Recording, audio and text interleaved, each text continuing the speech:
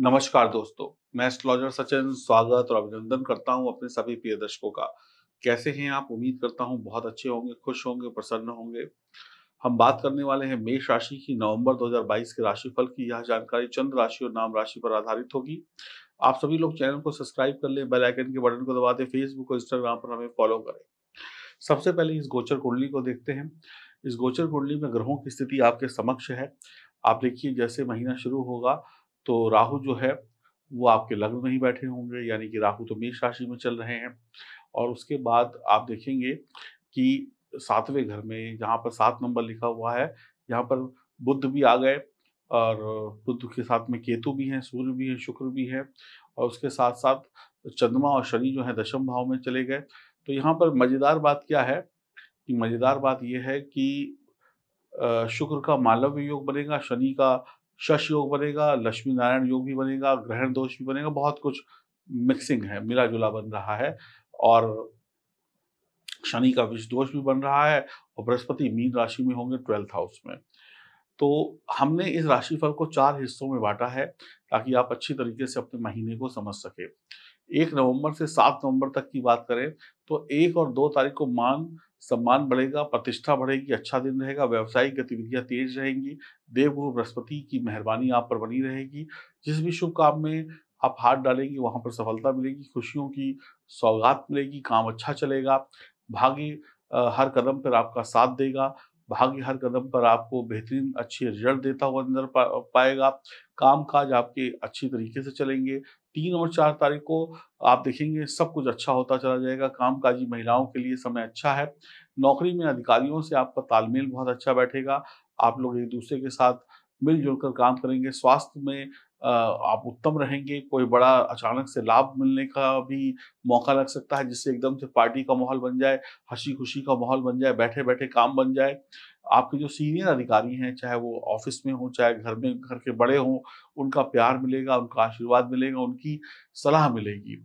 कोई भी निर्णय आप बहुत सोच समझ कर लेंगे तो बहुत ही बढ़िया रहेगा। पाँच और छः तारीख थोड़ा सा आपके मन मुताबिक नहीं जाएगा और किसी मुसीबत में पड़ सकते हैं, किसी सरकारी मुसीबत में पड़ सकते हैं, कानून के शिकंजे का शिकार हो सकते हैं। कोई अनजान व्यक्ति से बातचीत मत करिएगा, अनजान व्यक्तियों से अपनी बातों को शेयर मत करिएगा, नहीं तो आपको नुकसान होगा।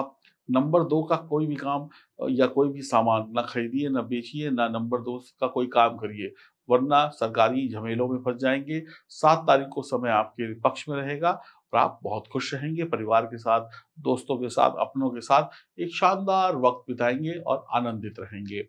अब दूसरे सप्ताह की तरफ़ चलते हैं, आठ से लेकर पंद्रह नवंबर तक की बात करते हैं। तो आप समझ समझ लीजिए कि जैसे आपके चेहरे पर हँसी रहेगी, खुशी रहेगी।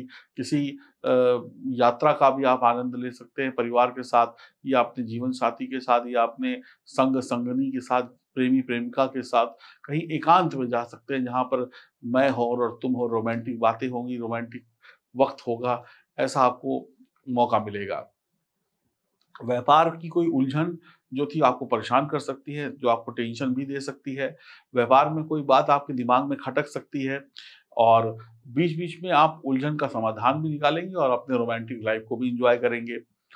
नौ, दस, ग्यारह तारीख को कारोबार में थोड़ा सा दिक्कत बढ़ सकती है, फिर आप थोड़ा सा अपनी प्रेम की तपस्या को तोड़ेंगे और काम धाम में फिर से उतर आएँगे। और धर्म, कर्म, अनुष्ठान आपके चलते रहेंगे, ईश्वर की भक्ति बनी रहेगी। सप्ताह में धन लाभ होगा, तकलीफ़ है, लेकिन धन लाभ होता रहेगा।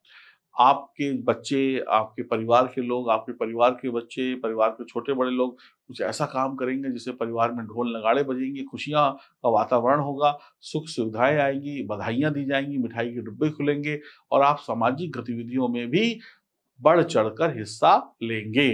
कहीं आना है, कहीं जाना है, वहाँ जाएँगे, लोगों के बीच में अपना मिलनसार रहेंगे और कुछ आपके जो दोस्त यार होंगे, वो आपके दोस्त यार कह लें या कह लें कि आपके ऐसे लोग जो आपको पसंद नहीं करते, लेकिन आपको लगता है कि वो आपके मित्र हैं, वो लोग आपके कामों की बुराई कर सकते हैं। बारह और तेरह तारीख को आपकी कमाई बढ़ेगी, शत्रु जितना परेशान करेगा, उतने आपकी किस्मत चमकेगी। जीवन के ऊँचे पायदान पर आप पहुँचेंगे, चौदह और पंद्रह तारीख को समस्याएँ एकदम से आपके सर पर आकर बैठ जाएँगी और धीरे धीरे आपको उनको निपटाना होगा। और इसकी वजह से थोड़ा सा टेंशन में हो सकते हैं तबीयत बिगड़ सकती है चिड़चिड़ापन आ सकता है और भी समस्याएँ सेहत से संबंधी आ सकती है गुस्सा उस्सा भी कर सकते हैं आप किसी को बेफालतू में। लड़ाई झगड़ा भी हो सकता है संभल के रहिएगा। चौदह और पंद्रह को। 16 नवंबर से 23 नवंबर की बात करें तो 16, 17, 18 तारीख को ज्ञानवर्धक समय रहेगा। नौकरों द्वारा आपको नुकसान हो सकता है। आपके जो नीचे लोग काम करते हैं, जो जूनियर लोग हैं या आपके घरेलू नौकर हैं या दुकान वगैरह पे जो नौकर हैं, वो जैसा आप कहेंगे, वैसा नहीं करेंगे, कुछ उल्टा सीधा कर देंगे, जिसकी वजह से आप परेशान हो सकते हैं। आप गुस्सा भी हो सकते हैं, फिर जब गलत काम करेंगे तो आप उन पर डांट वाट भी देंगे आप उनको। तो ये आपके लिए टेंशन का काम होगा, लेकिन जब डांट खाने के बाद, फिर वो सही काम भी करने लगेंगे, फिर काम धीरे धीरे पटरी पर आ जाएगा। तो इसका कहने का मतलब ये होगा थोड़ा नज़र बना के रखिएगा। आपकी तर्क शक्ति में इजाफा होगा, सरकारी सहयोग प्राप्त होगा, काम पर आप समय से पहुँचेंगे तो अपने पेंडिंग काम पूरे कर पाएँगे, वरना लेट लतीफी में मारे जाएँगे। जिन की वजह से आपके अधिकारी आपको डांटेंगे, समय पर पहुँचेंगे, समय से काम करेंगे तो फिर दिक्कत नहीं होगी। मकान में कुछ टूट फूट को आप सही करा सकते हैं मकान में कुछ बदलाव कर सकते हैं एक मंजिल को दो मंजिल में परिवर्तित कर सकते हैं खर्चा होगा।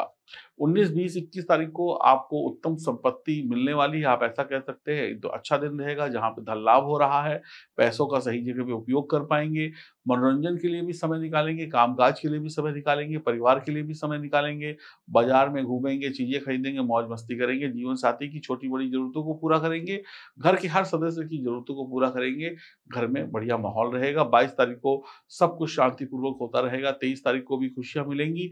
लोगों के प्रभाव में आ पाएँगे। अच्छे लोगों से मिलना जुलना होगा। अच्छे लोगों से बातचीत होगी। अच्छे क्लाइंट बढ़ेंगे। अच्छे लोग आपके नज़दीक आएँगे। और तेईस तारीख को शाम को तो कहीं थोड़ा सा एक्सीडेंट वगैरह छोटा मोटा हो सकता है। ध्यान रखिएगा अब हम बढ़ जाते हैं 24 नवंबर से 30 नवंबर तक आखिरी सप्ताह में। तो दिनांक 24 और 25 को थोड़ा सा टेंशन भरा समय रहेगा चोट चपेट लग सकती है, मूड खराब हो सकता है, सेहत खराब हो सकती है, दिमागी परेशानी हो सकती है, कोई उलझन आ सकती है और कुछ ऐसे फैसले लेने पड़ सकते हैं जिनको लेना आपको अच्छा ना लगे। आपके प्रयत्न करने के बाद भी असफलता का मुँह देखना पड़े। काम काज में भागदौड़ ज़्यादा हो सकती है, मोबाइल फ़ोन वगैरह टूट फूट सकता है या ख़राब हो सकता है, ज़रूर, कीमती सामान खराब हो सकता है और हो सकता है आप पढ़ाई लिखाई को छोड़कर मौज मस्ती में ज़्यादा वक्त लगाएँ काम काज छोड़कर सोशल मीडिया में लोगों को मैसेज वैसेज करते रहें, उल्टी सीधी चीज़ें देखते रहें फ़ोन पर, जिससे आपका काम गड़बड़ा सकता है। सत्ताईस तारीख को जो भी लोग सरकारी कर्मचारी पेंशन इत्यादि ले रहे हैं, या जिनका भी कोई सरकारी मामला अटका हुआ है, उनका काम पूरा हो जाएगा। जिस कार्य में हाथ डालेंगे, उसमें सफलता प्राप्ति हो जाएगी। आप मंदिर वगैरह जा सकते हैं, धार्मिक कार्यों में अपना हाथ बटा सकते हैं, भगवान के कामों में आप इंटरेस्ट दिखाएँगे, आप धार्मिक पुस्तकों को पढ़ेंगे इंटरेस्ट लेंगे, अति शुभ समय रहेगा 28 और 29 को मान सम्मान, प्रतिष्ठा आपकी बढ़ेगी, आपके पुराने अटके हुए काम पूरे हो जाएँगे, किसी नवीन वस्तु की खरीदारी आप कर सकते हैं तीस तारीख को समय शानदार रहेगा, लोग आपकी यश और कीर्ति का गुणगान करेंगे, प्रेम संबंध में सफलता मिलेगी, समय बहुत अच्छा रहेगा, आप इंजॉय करेंगे। तो कुल मिलाकर देखा जाए तो ये चारों सप्ताह का जो निचोड़ है और ग्रहों का जो निचोड़ है वो देखा जाए तो आपको करीब करीब 65 परसेंट शुभ परिणाम मिल रहे हैं। आप इंजॉय करिए। हनुमान जी की उपासना करनी है आपको, भगवान सूर्य की उपासना करनी है और भगवान विष्णु का ओम नमो भगवते वासुदेवाय नमः मंत्र का जाप करना है और एक महामंत्र आपको दे रहा हूँ वह है राधे राधे कहते जाइए।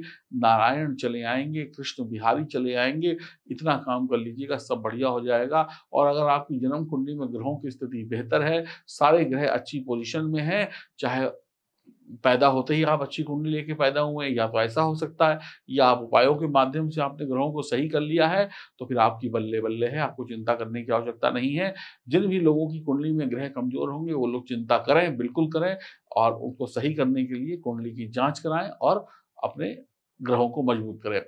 आप अपने साल 2023 को अगर बेहतर बनाना चाहते हैं तो दिए गए नंबरों पर संपर्क करें, अपनी अपॉइंटमेंट बुक कराएँ और साल 2023 को बेहतर बनाने के लिए हम और आपस, आप आपस में बात करेंगे, आपकी कुंडली की जाँच करेंगे और आपको सही उपाय बताएँगे और 2023 को बहुत बढ़िया बनाएँगे।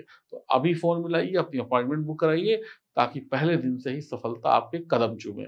ज़्यादा देर मत करिएगा क्योंकि जितना वक्त बीतता जाएगा, उतना गोल्डन टाइम आपके हाथ से निकलता जाएगा। बाकी आप मेष राशि के हैं इंजॉय करें इस महीने को और बढ़िया तरीके से वक्त को बिताएँ और अपने खान पान का विशेष ध्यान रखें। मौसम बदल रहा है इस बात का भी ध्यान रखें।